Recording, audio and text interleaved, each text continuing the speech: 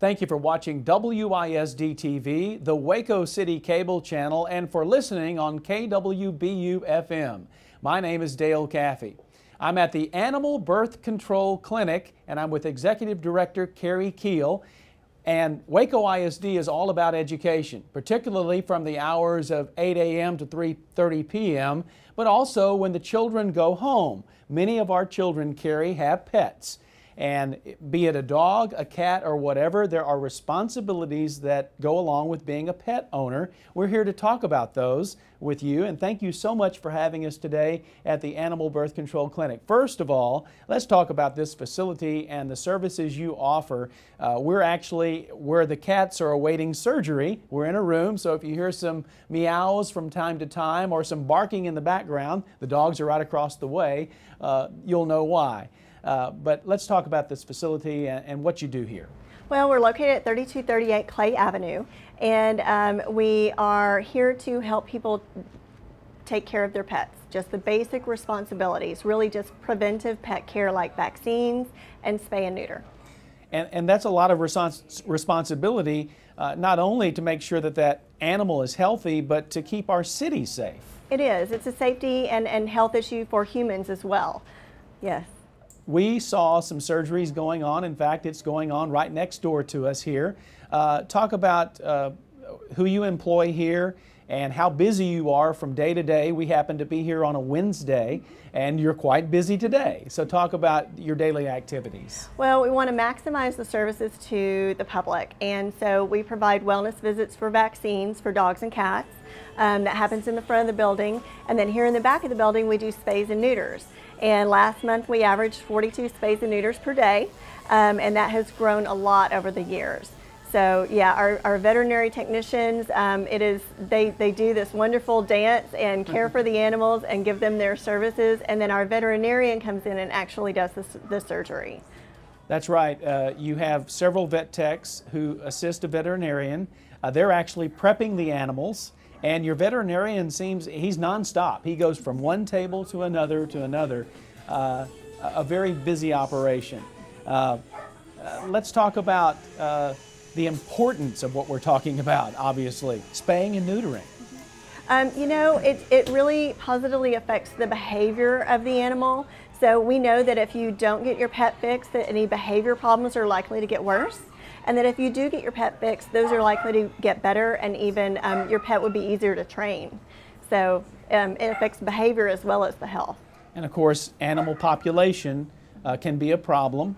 Uh, we hear all the time about feral cats and, and obviously dogs running loose in the street sometime. And sometimes those dogs uh, do things that we don't particularly like, like chase us on a bicycle or, or bite our children or ourselves. Uh, so talk about how animal birth control fits in with, with what the city of Waco is trying to do right now as far as animal control. You know, spay and neuter makes our city safer.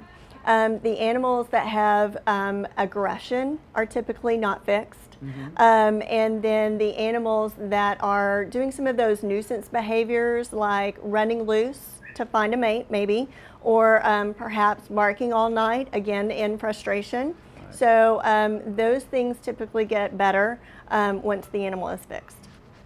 Let's talk about uh, vaccines because that's another role that uh, you play here at the Animal Birth Control Clinic, uh, not just birth control, but disease control. Sure. Um, rabies is the first of the list um, because that is such a human care, um, a, a, human risk. Mm-hmm. Um, so that's required by state law, um, and we provide that for $10. Wonderful. Uh, you have special days from time to time, I think, where, where sometimes you have a line that goes outside the door. We do have special days. Um, we offer, um, for, for the folks that are busy from Monday through Friday, um, the second Sunday of every month from 10 to 2, we provide a clinic for vaccines only. So you can come by, um, no appointment necessary. We've got um, two veterinarians, all of our vet tech staff is here, and an army of volunteers. So we also during that during the week 10 to 2, same prices, um, but we still want to have that Sunday available for those that are busy during the week. Let's uh, send a message to children right now who have that dog or cat And you know that, that they always uh, ask mom, "Oh, can I have that little puppy? Can I have that little kitty?" Sometimes not realizing that it's a long-term project and long-term care. Yeah. So, if you had a message that you could send to our students right now at Waco ISD, what would it be? You know, it is a commitment. Um, it pets typically should live um, anywhere from 10 to 18 years, sometimes more, and um, it, that's a living creature. Mm-hmm. And if we take on that responsibility in an impulse moment, we need to think about that rather than an, as an impulse moment, but really as a lifelong commitment to that particular creature. Um, so we can help with that commitment financially with the, the services that we provide here. And when you take care of those services on a preventive way, it's less expensive um, on the other side because they're less likely to get sick, they're less likely to get hit by a car, um, etc.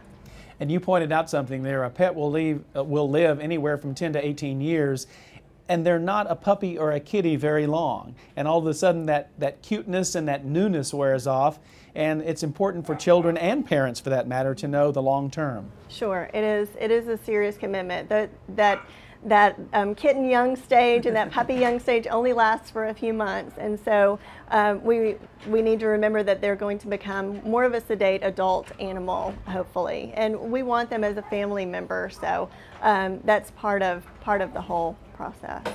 And we have uh, vet techs actually coming in at this moment, and uh, we have a patient, looks like, who just got out of surgery. And we're getting a shot of that on our WISD TV camera at this point. And uh, still a little bit groggy and asleep, but it goes into that kennel now, right? And we'll, uh, I see the eyes open on the kitty and looks like there's some movement there, but still trying to recover from the anesthesia a little bit. Yes, um, this kitty um, just came off the recovery area in the table and um, she will continue to wake up throughout the afternoon and she will be as though nothing happened um, by about 4 o'clock when the pickup of the patients begin. So she'll be sitting up, um, meowing, ready to go home. Uh, let's once again talk about the services you offer and what you offer to low income households. We do. Um, we really want to help those folks. Um, we offer free spay and neuter if needed if they are on some kind of government assistance. So um, if you live within the city limits of Waco and you have a type of government assistance like um, food stamps, the CHIP, um, disability, or Medicaid, um, give us a call and we can help out with that part. Let's talk a little bit about the city of Waco and some new uh, ordinances that have gone into effect. Yeah, um, there's kind of a package of ordinances, and um, the details are on the Waco, Texas website. But in general, um, we've got um, a, a, tethering ordinance that um, if you can't leave your dog tied out um, without basic needs food, water, shelter, and enough room to move around. Mm-hmm. So the specifics again are on the website of that. Another one is the, um, the mandatory microchipping. Let's talk about microchipping. Is that something you offer here? We do. Okay. Um, and in partnership with the City of Waco, before January 1st, we are offering opportunities to get free microchipping done. Wow. Mm-hmm. And, and talk about the benefits of microchipping. Um, you know, if your pet is um, lost, um, and that happens often, um, you would hope that it would never happen to your pet, but the statistics are that it does happen, um, you would want to get that pet back. So a microchip is um, a tiny little rice-sized um, implant put between the shoulder blades of the dog or cat, and it's got data in there, not tracking data, but for someone that finds your pet, um, um, they can scan and find that, that information, that, that number, and be able to get that pet back to you. So it's really got a lot of great benefits to it.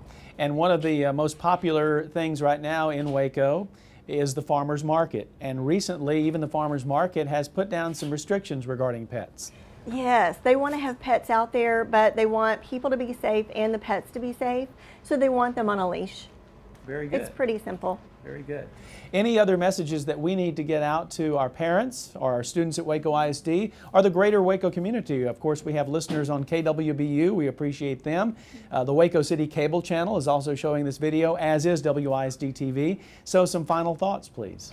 You know, if you're having um, questions about your pet's health or um, um, something full service related, go ahead and contact your full service veterinarian.